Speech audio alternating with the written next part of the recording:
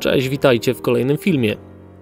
Zapraszam na kontynuację wycieczki wzdłuż wybrzeża Bałtyku, tym razem w województwie pomorskim. W tej części trasy często zbaczamy ze szlaków R10 i Eurovelo 10, kierując się zasadą, że jest to wycieczka wzdłuż wybrzeża, więc jedyne co ważne, aby mieć je z lewej strony i jechać przed siebie. Improwizacje w modyfikacji szlaku nie zawsze były przez nas zamierzone.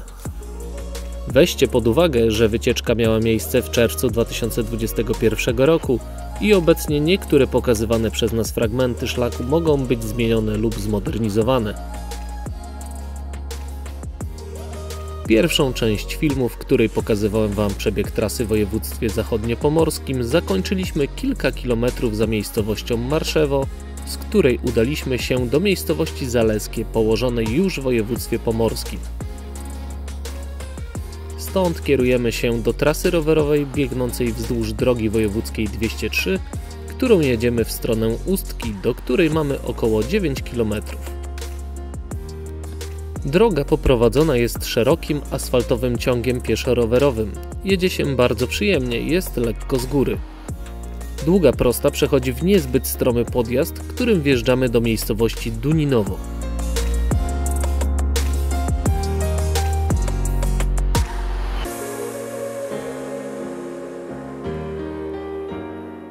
Chwilę później docieramy do przedmieść Ustki i taką samą dobrą nawierzchnią dojeżdżamy bliżej centrum. Niestety nie przeznaczyliśmy czasu na zwiedzanie ani nawet na objazd miasta, tak więc kierujemy się na most nad rzeką Słupia.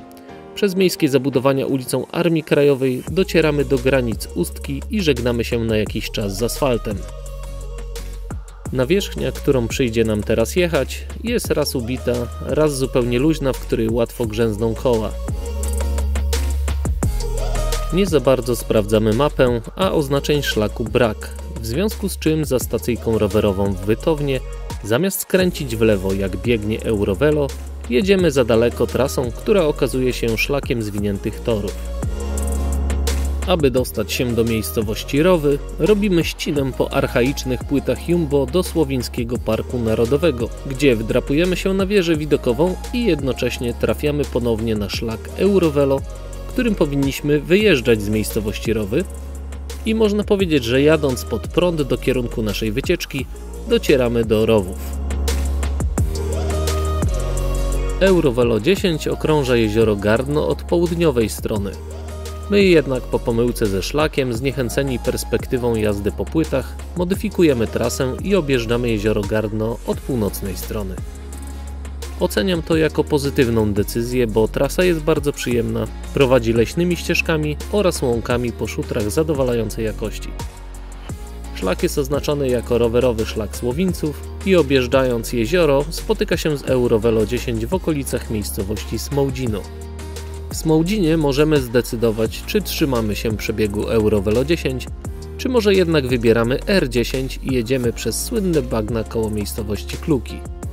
Idąc za ciosem nietrzymania się kurczowo Eurovelo, kierujemy się oczywiście na Kluki, gdzie jeśli macie chęć i trochę wolnego czasu, można zwiedzić skansen wsi słowińskiej. Gdy asfalt się kończy, wjeżdżamy w polną drogę i w niedługim czasie docieramy do drewnianych kładek, które są zbawienne, jeśli jedziemy w czasie deszczu lub gdy grunt jest bardzo wilgotny. W naszym przypadku było sucho, do tego stopnia, że kilka początkowych kładek można było ominąć. Później kładki są dłuższe, a teren naokoło typowo bagienny.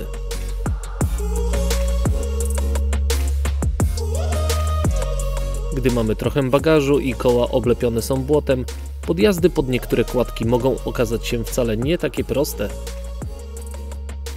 Docieramy do niewielkiego mostu, który we wrześniu 2022 roku spłonął i w czasie, gdy nagrywam ten materiał, nie mam informacji, kiedy zostanie odbudowany.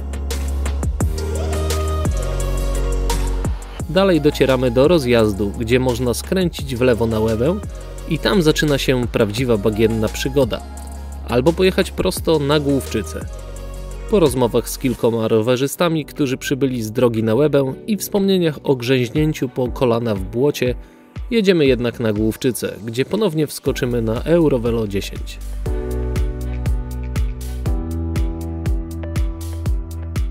Za Główczycami mijamy miejscowości Ciemno, Zgierz i Zbicę i po minięciu rzeki Łeba, mniej więcej za miejscowością Gać, zaczyna się pierwsza piaskownica. Piachu jest tyle, jakbyśmy byli co najmniej gdzieś w okolicach Łeby. Jak dla mnie, środek trasy jest zupełnie nieprzejezdny. Myślę, że może na fatbajku dałoby się w miarę to pokonać. Ratunkiem są wyjeżdżone po bokach głównej trasy wąskie ścieżki, gdzie przemykając raz z jednej na drugą stronę w powolnym tempie, udaje się pokonać ten odcinek.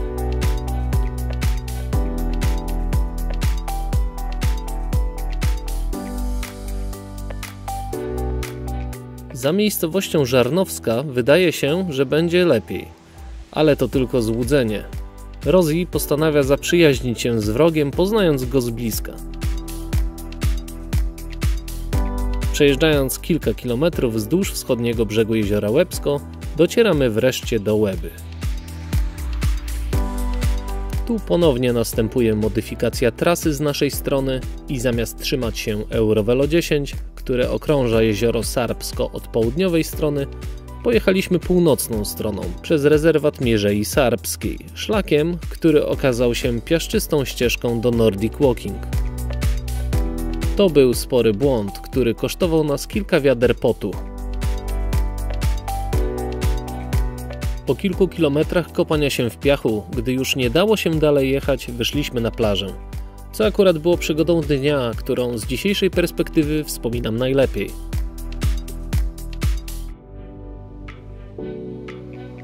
Jazda po plaży to bardzo przyjemne doświadczenie.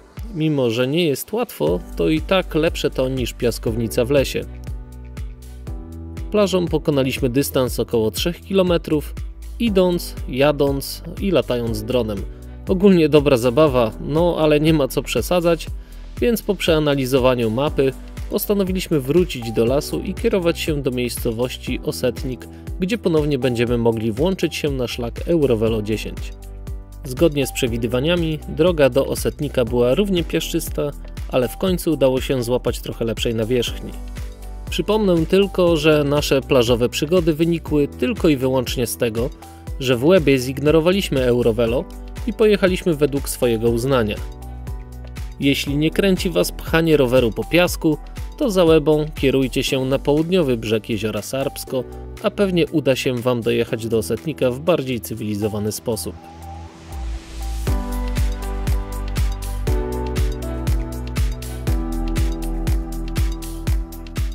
Za osetnikiem królują już szutry dobrej jakości.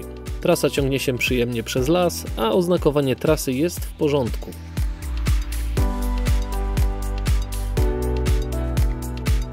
Kolejna większa miejscowość na trasie to Lubiatowo, gdzie odbijamy w lewo. Szlak w tym miejscu robi dużą falę, pewnie można by też pojechać prosto i skrócić sobie kawałek, ale przecież nigdzie się nam nie spieszy.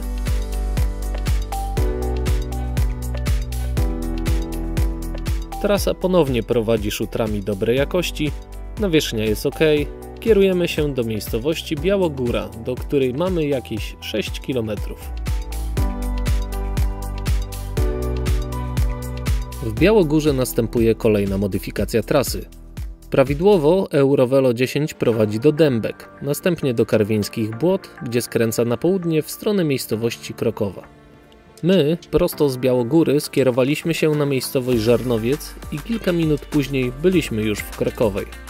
Dodatkowo musicie wiedzieć, że w karwieńskich błotach można wybrać wariant Eurovelo 10 lub R10.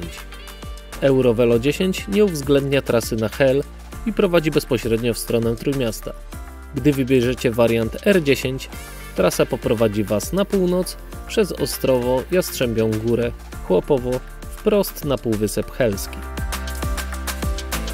My mieliśmy w planie odwiedzić Hel, ale jak wspomniałem skręciliśmy w stronę krokowej wybierając wariant Eurovelo, gdyż koniecznie chcieliśmy przejechać się nowym szlakiem Krokowa-Swarzewo, poprowadzonym po śladzie starej linii kolejowej. Jest to mega wspaniały odcinek. Piękne widoki, idealna nawierzchnia, gęsto rozmieszczone mory i brak stromych podjazdów to wszystko, czego możecie się spodziewać na tej trasie. Nie jest to długi odcinek, ale zdecydowanie warty przejechania. Zainteresowanym podlinkuję osobny film poświęcony wycieczce tym szlakiem.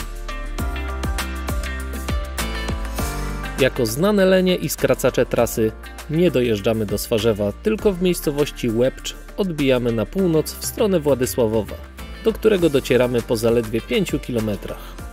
Władysławowo wita nas długim, przyjemnym zjazdem. Kierujemy się w stronę centrum na szybki obiadek. Jeśli lubicie wieże widokowe, to polecam we Władku punkt widokowy na wieży domu rybaka, w którym obecnie znajduje się ratusz miejski. Ze szczytu można podziwiać widok na Półwysep Helski, najbliższą okolicę Władysławowa, a przy dobrej pogodzie nawet na dalsze miejscowości.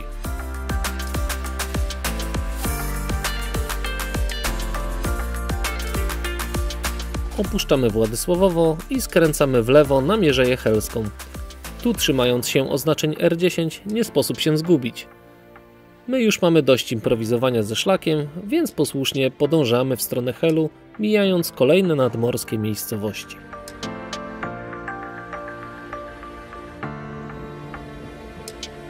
Pierwsze na trasie są chałupy.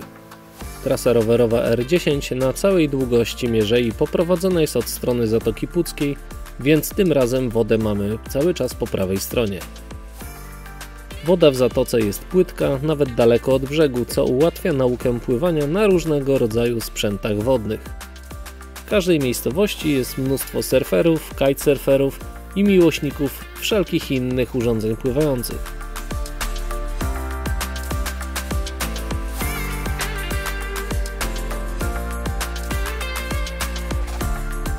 Jak być może zwróciliście uwagę, oznaczenia trasy, jeśli chodzi o znaki pionowe, jak i malowane na ziemi poziome, są naprawdę dobre.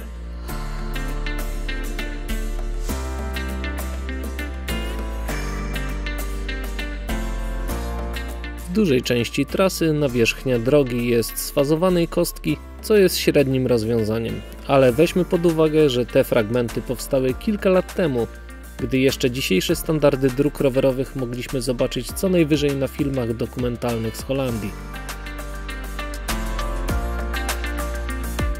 Kolejna miejscowość to Kuźnica. Znajduje się tu mały port i niewielkie molo. Kuźnica jest znana z odbywającego się tu finału Marszu Śledzia.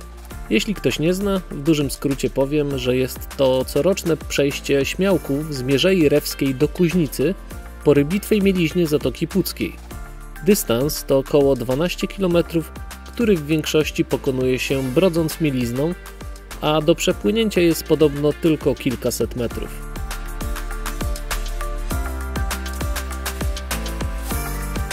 Mijamy niewielkie lotnisko w Jastarni. Jeśli macie za mało adrenalinki, można tu wykupić lot widokowy małą awionetką lub śmigłowcem.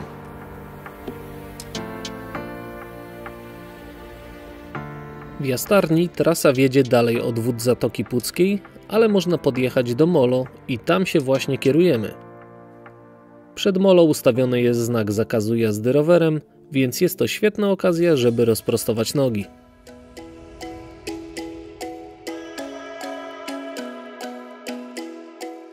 No pięknie, pięknie, ale trzeba jechać dalej. Rzut oka jeszcze na port w Jastarni i trasa odbija bardziej w las na środek półwyspu. Wjeżdżając do Juraty, oznaczenia R10 kierują nas bocznymi uliczkami, raz w prawo, raz w lewo i prowadzą ponownie nad brzeg Zatoki Puckiej. Przypominam, że jedziemy w czerwcu, dzięki czemu nie ma jeszcze tłumów. Trzeba korzystać. Zaliczamy więc krótki spacer na kolejnym molo, tym razem w Juracie. Teraz fragment, gdzie jedziemy najbliżej wody. Musicie chyba sami przyznać, że iście wakacyjny klimat.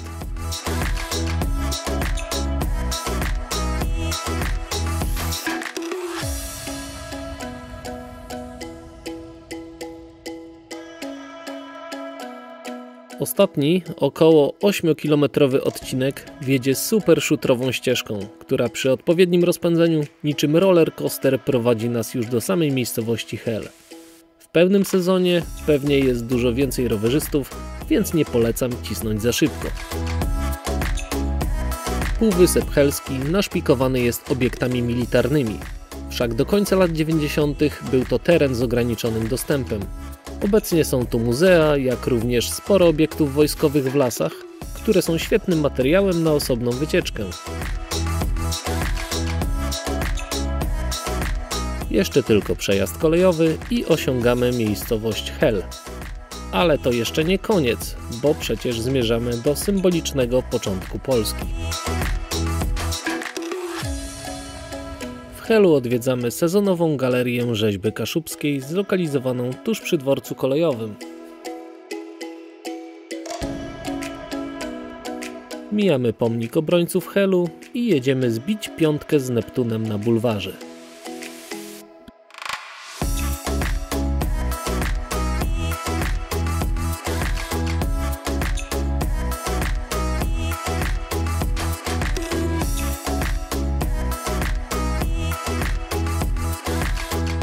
Do kopca Kaszubów, pod który zmierzamy, dróg jest kilka, ale ja lubię tą wiodącą przez port rybacki. Zapachy może nie rozpieszczają, ale jest spoko klimat. Szutrowym fragmentem drogi docieramy do naszego celu tego etapu wycieczki Kopca Kaszubów, czyli symbolicznego początku Polski. Kopiec nie leży na samym cyplu helskim, tak więc jeśli chcecie być już na końcu końców, musicie pojechać kawałek dalej i udać się na plażę. Na całej długości cypla helskiego można poruszać się drewnianymi kładkami, co uczyniliśmy i my. To już koniec tego etapu wycieczki. Mam nadzieję, że film pokazał Wam możliwości i dostępne opcje trasy. Jak widzieliście, nie trzymaliśmy się kurczowo szlaków R10 i Eurovelo 10 i jest to najlepszy dowód na to, że można świetnie się bawić tą trasą, pokonując ją kilka razy, za każdym razem inną drogą. Na kanale dostępne są relacje z poszczególnych dni wycieczki. Zainteresowanych zgłębieniem tematu zapraszam do oglądania. Będzie mi miło, jeśli napiszesz komentarz na temat filmu, trasy lub zostawisz pytanie, na które chętnie odpowiem. Dziękuję za wspólną jazdę, pozdrawiam i do następnego razu.